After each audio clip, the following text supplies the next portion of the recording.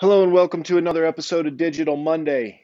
This is the last episode in the three-part series that we've been kind of that I've been talking about regarding um, the three steps you need to do to make sure you have perfect prints every single time on the F2100. First one was do your maintenance right. Make sure you have a good nozzle check. Second step was to make sure you pre-treat right. Make sure you pre-treat properly with the right ratios, the right speed to avoid staining. Use good quality pre-treat and you can get good results every single time. Always got to use a pre-treat machine. The Mr. T1, Lawson, there's a number of good ones out there. Um, pre-treat properly, that's important.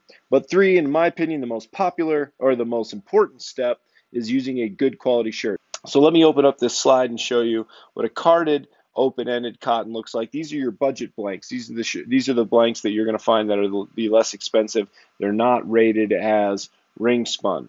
So they have they're considerably more fibrous. The weave isn't nearly as tight, and the print is a little bit more. Is never you can never get it as tight as you could on say 100% combed ring spun, um, where your your your fiber your your thread is actually a really nice tight weave, um, and you can always get really nice crisp clean prints out of it. So always look for open end or for car uh, some combed ring spun combed ring spun cotton shirts. There's a number of good ones out there. Um, uh, Cotton Heritage, Spectra, Fruit of the Loom Soft Spun, Bella Canvas, Next Level, uh, Just Hoods USA makes an awesome hood. Uh, hoodie. So there's a number of really good ones out there. These are the shirts that we recommend you using to get the best results. So here's an example. It's kind of hard to see. Um, we're going to print this today. Um, we're going to print this on a carded, open-ended uh, budget blank, and we're also going to print it on a on a Cotton Heritage, nice, tightly woven uh, ring spun blank. And we're going to do exactly the same thing we do on one as the other. We're going to use the same pre-treat settings, same amount of pre-treat, and we're going to use the exact same garment creator settings, same amount of ink, and let's look at the differences and what we get. We are using Epson pre-treat for this one. This is 50-50, 50% water, 50% Epson pre-treat. So here's the Cotton Heritage shirt. These are, we're going to set the standard here with 50-50 um, round trip four. So we're going to be 50-50 pre-treat to water. Uh, we are using Epson pre-treat. Uh, we're doing round trip four. We're not doing the whole shirt. Uh, let's get it in and get it started. Nice even spray. Nice clean pre-treat machine will allow for that. There we go. There's our cotton heritage. So this is our design for these for this black shirt. I wanted to use a picture of a person because people often say, "Hey, it's hard to get a good quality picture of a person on a dark shirt.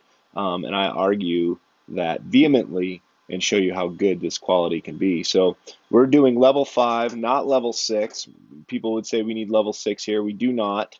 Um, I'm going to bump up color to five, density to um, density and color to five, white density to 15. I'm going to reduce the under, white underbase to three, just so it chokes it back a little bit.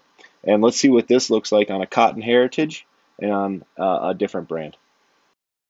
Nice bright whites there. Level 5. Not a lot of white ink going down. Definitely no need for a double pass on this one. People say, John, I just can't get good pictures of people on dark shirts with white underbase. Well, I'm about to prove you wrong. You know, even as much as as long as I've been doing this, I'm still always just so impressed with the quality It's so fun. DTG is fun. If you're not having fun, you're not doing it right. And it's easy to do it right, folks. Just follow my three simple steps. Look how awesome that is. Four, three, two, one. Blast off. Let's see how she looks. What looks as good as when it came off the off the printer. telling you. Printing on dark garments never was so easy. All right, so we're going to do round trip four here on the Mr. T1. We don't need to cover the whole shirt, so we're going to leave this part open and just hit the kind of the, the front, save a little bit of pre-treat. Um, push it in here, nice clean pre-treat machine. Let's start it up. Nice. So that's the same application on this shirt is on the Cotton Heritage. Same applications. Same pre-treat application, same ink settings, but this is a carded open-ended garment, cotton garment, as opposed to the combed ring spun garment. And it's very evident in the whites how much differently the ink is laying down. So let's see after the color goes down, let's see what she looks like. And boy, even on this shirt that isn't ideal, it still looks pretty doggone good again. So impressed with this technology. But let's let it print out and um, see what she looks like done and dried side by side with the other one. All right, let's get this. It's been printed. Let's get this carded open-ended shirt here on the dryer. And I'm going to do it the same like I do my others. Not very much pressure, just kind of sitting right on top of the shirt there. 340 so degrees for around 65 seconds or so. All right, she's done. Let's take a look. I said 65 seconds. I meant 75-ish, 80 seconds or so. 340 some degrees at 75-ish seconds is usually pretty good for drying. All right, so we have our side-by-side comparisons. We have a carded open-ended uh, t-shirt here, kind of your standard budget shirt. Then we have a, a high-quality ring spun shirt here.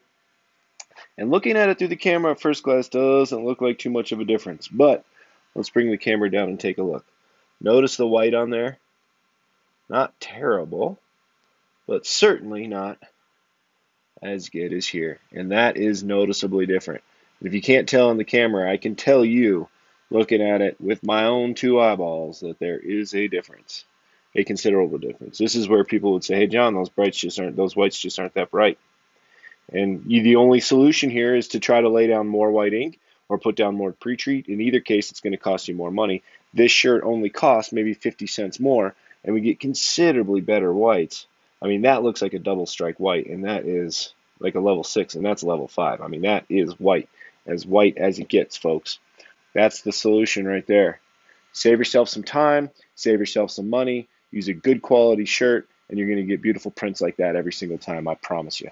Thanks for watching this Digital Monday. Next week, we're going to mix it up a little bit. We've been doing DTG for a while. Let's get into some dye sublimation and have some fun with that. Thanks for watching. Make sure you just subscribe. Watch all the other videos on the Epson F2100 stuff that I've been doing. We do a lot of rolling stuff. We do a lot of Epson dye subs, so we're doing it all.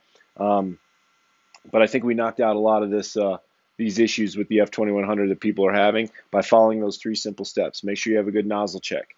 Make sure you pre-treat properly and make sure you use a good quality shirt. You can do those things and you're going to get beautiful prints every time.